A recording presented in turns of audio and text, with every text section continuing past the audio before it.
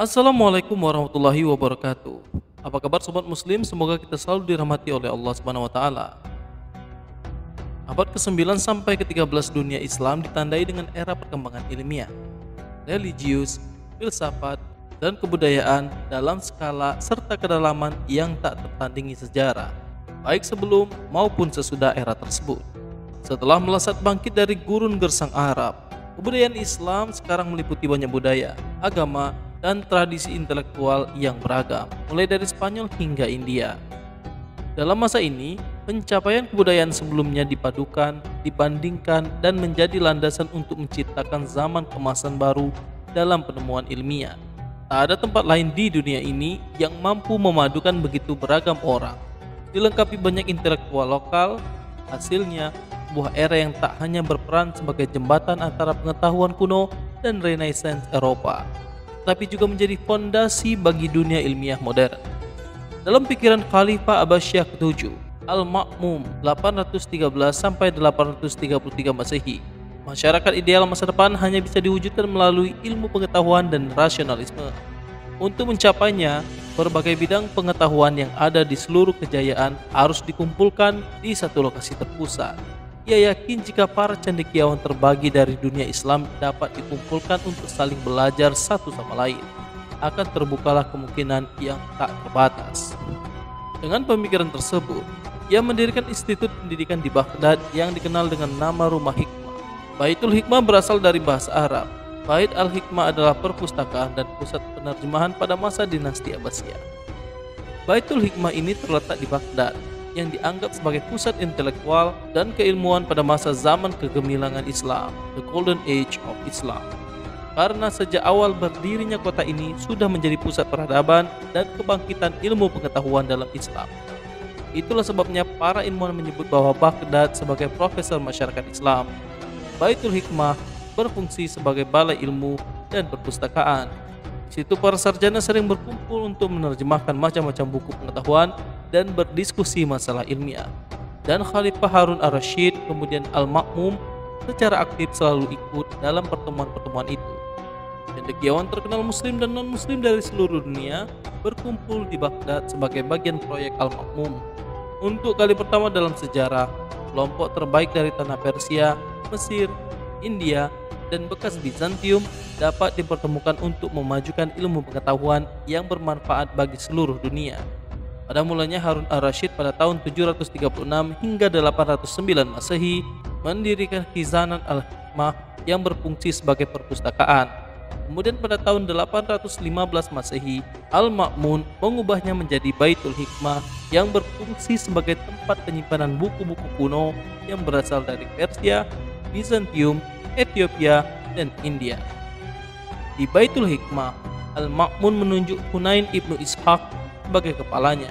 Di samping itu juga mempekerjakan Muhammad ibnu Musa al-Khawarizmi, ahli dalam bidang aljabar dan astronomi, dan orang-orang Persia kan tetapi sejak abad ke-9 Masehi dijadikan tempat penerjemahan filsuf klasik di bawah bimbingan Hunair Ibnu Ishaq. Pada masa pemerintahannya, penerjemahan buku-buku asing juga digalakkan. Untuk menerjemahkan buku-buku Yunani, ia mempersiapkan penerjemahan dari golongan Kristen dan penganut agama lain yang ahlinya. Baitul Hikmah ini mengalami kemajuan pesat. Baitul Hikmah pun merupakan salah satu contoh perpustakaan Islam yang lengkap berisi ilmu agama Islam dan ilmu-ilmu pengetahuan lainnya. Bermacam-macam ilmu pengetahuan yang telah berkembang pada masa itu dan berbagai macam buku terjemahan dari bahasa-bahasa Yunani, Persia, India, Itbi, dan Arami. Pada masa ini berkembang berbagai macam ilmu pengetahuan, baik itu pengetahuan umum maupun pengetahuan agama, seperti Al-Quran, Qiraat, Hadis, Fikih, Kalam, Bahasa, dan Sastra. Di samping itu juga berkembang empat mazhab fikih yang terkenal. Di antaranya Abu Hunaifah, pendiri mazhab Hanafi, Imam Maliki Ibnu Anas, pendiri mazhab Maliki, Muhammad Ibnu Idris Asy-Syafi'i, pendiri mazhab Syafi'i, dan Muhammad Ibnu Hambal, pendiri mazhab Hanbali. Di samping itu berkembang pula ilmu-ilmu umum seperti ilmu filsafat, logika, metafisika, matematika, alam, geometri, aritmatika, mekanika, astronomi, musik, kedokteran, dan kimia. Ilmu-ilmu umum masuk ke dalam Islam melalui terjemahan di Baitul Hikmah dari bahasa Yunani dan Persia ke dalam bahasa Arab, di samping dari bahasa India. Pada masa pemerintahan Al-Ma'mun, pengaruh Yunani sangat kuat. Di antara penerjemah yang masyur saat itu ialah Hunain Ibn Ishaq, seorang Kristen Nestorian yang banyak menerjemahkan buku-buku Yunani ke dalam bahasa Arab. Ia terjemahkan kitab Republik dari Plato dan kitab kategori metafisika makna moralia dari Aristoteles. Peran Baitul Hikmah memang sangat besar dalam kemajuan peradaban Islam, terutama dalam ilmu pengetahuan yang pada masa itu lahir banyak ilmuwan-ilmuwan Islam, berkat sarjana-sarjana dan ilmuwan-ilmuwan yang lahir dari lembaga ini. Berikut sarjana-sarjana dan ilmuwan yang lahir dari lembaga ini. Dalam bidang ilmu pengetahuan umum, banyak lahir ilmuwan-ilmuwan besar dan sangat berpengaruh terhadap peradaban Islam antara lain ilmu kedokteran Unain Ibnu Ishaq terkenal sebagai dokter penyakit mata Ar-Razi terkenal sebagai dokter ahli penyakit cacar dan campak buku karangannya di bidang kedokteran berjudul Al-Hawi Ibnu Sina karyanya yang terkenal adalah Al-Qanun dan dijadikan buku pedoman kedokteran bagi universitas di negara Eropa dan negara Islam. Abu Marwan Abdul Malik Ibnu Abil Ala Ibnu Zur terkenal sebagai dokter ahli penyakit dalam Karyanya yang terkenal adalah At-Taisir. Ibnu Rushd terkenal sebagai perintis penelitian pembuluh darah dan penyakit cacar. Ilmu perbintangan Abu Masyur Al-Falaki karyanya adalah Isbatul Ulum dan Haitul Falak. Jabir Al-Batani pencipta teropong bintang yang pertama. Karya yang terkenal adalah Kitabu Ma'rifati Matlil Buruj Baina Arabi'il Falak Al-Khawarijmi tokoh matematika yang mengarang buku Al-Jabar Umar Khayyam. Karyanya yang terkenal adalah Al-Jabar yang berjudul Teratis on Algebra dan telah diterjemahkan ke dalam bahasa Prancis pada tahun 857 Masehi. Karya Umar Khayyam lebih maju daripada Al-Jabar, karya Euclides dan Al-Khawarizmi. Raihan Al-Biruni. Karya yang terkenal adalah At-Tafim li awali lina'atid tanji. Ilmu farmasi dan kimia. Salah satu ahli farmasi adalah Ibnu Baitar. Karyanya yang terkenal adalah Al-Muqni. Jami' Mufratil Adwiyah wa dan Mizani Tabib. Adapun di bidang kimia adalah Abu Bakar Ar-Razi dan Abu Musa Ya'far Al-Kufi. Ilmu filsafat, tokoh-tokoh filsafat Islam antara lain Al-Kindi, Al-Farabi dengan karyanya Ar-Ra'yu Ahlul Madinah, Al-Fadilah, Ibnu Sina, Al-Ghazali dengan karya Ta'afud, Al-Falasifat, Ibnu Rushid dan lain-lain. Selanjutnya ilmu sejarah Ahli sejarah yang lahir pada masa itu adalah Abu Ismail Al-Azdi dengan karyanya yang berjudul Tuh Shisham, Al-Waqidi dengan karyanya Al-Maghazi, Ibnu Sa'ad dengan karyanya At-Tabakul Kubra dan Ibnu Hisham dengan karyanya Syirah Ibnu Hisham. Kemudian ilmu geografi dengan tokohnya ialah Ibnu Khazdarba dengan karyanya Kitabul Masalik wal Mamalik, Ibnu Haik dengan karyanya Kitabus Sifati Jaziratul Arab dan Kitabul Iklim. Ibnu Fadlan dengan karyanya Rihlal Ibnu Fadlan. Selanjutnya ilmu sastra. Pada masa itu juga berkembang ilmu sastra yang melahirkan beberapa penyair terkenal seperti Abu Nawas, Abu Atiyah, Abu Tamam, Al-Mutanabbi, dan Ibnu Hani. Di samping itu, mereka juga menghasilkan karya sastra yang fenomenal seperti Seribu Satu Malam, Alf Laila wa Laila, yang diterjemahkan ke dalam bahasa Inggris menjadi The Arabian Night. Di samping ilmu pengetahuan umum, pada masa itu berkembang pula ilmu agama dengan tokohnya sebagai berikut.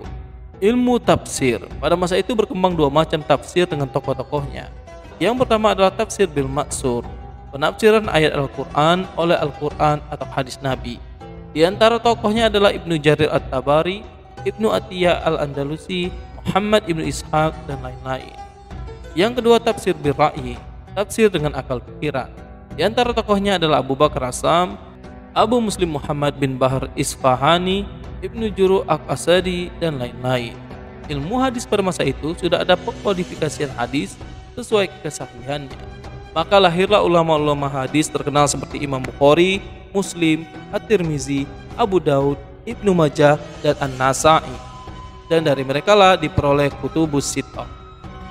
Kemudian ilmu kalam. Ilmu kalam lahir karena dua faktor, yaitu musuh Islam ingin melumpuhkan Islam dengan filsafat dan semua masalah termasuk agama berkisar pada akal dan ilmu. Di antara tokohnya ialah Wasil Ibnu Atta, Abu Hasan Al-Ashari, Imam Ghazali, dan lain-lain. Selanjutnya ilmu tasawuf. Di antara tokohnya adalah Al-Qusair dengan karyanya Risalatul Qusairiyah dan Al-Ghazali dengan karyanya Ihya Ulumuddin. Selanjutnya ilmu bahasa pada masa itu kota Basrah dan Kufah menjadi pusat kegiatan bahasa. Di antara tokohnya ialah Sibawai, Al-Kisai, dan Abu Zakaria Al-Fara. Selanjutnya ilmu fikih. Pada masa itu ilmu fikih juga berkembang pesat. Terbukti pada masa ini muncul empat masa fikih, yaitu Hanafi, Maliki, Syafi'i, dan Hanbali. Bagi para ilmuwan muslim yang hanya berjarak beberapa tahun dari masa kehidupan Nabi, Mendapatkan ridho Allah adalah alasan utama melakukan penelitian dan belajar. Literatur ilmiah dari masa keemasan biasanya dimulai dengan ayat Al-Quran yang mendorong pencari ilmu dan menyeru orang Islam agar merenungkan dunia sekitar mereka. Di samping itu, Islam sendiri memerintahkan untuk mencari ilmu, menjadikan penelitian sebagai tindakan ibadah. Banyak ayat dalam Al-Quran dan hadis Nabi yang menekankan peran ilmu pengetahuan dalam kehidupan seorang muslim yang soleh. Nabi dikabarkan bersabda bahwa Tuhan memudahkan jalan ke surga bagi mereka yang melangkahkan kaki untuk mencari ilmu. Wallahu a'lam bishawab. Demikian informasi yang dapat disampaikan oleh Ragam Islam Channel tentang era keemasan Islam. Semoga informasi pada kesempatan kali ini dapat menjadi hikmah dan pelajaran bagi kita semua. Assalamualaikum warahmatullahi wabarakatuh.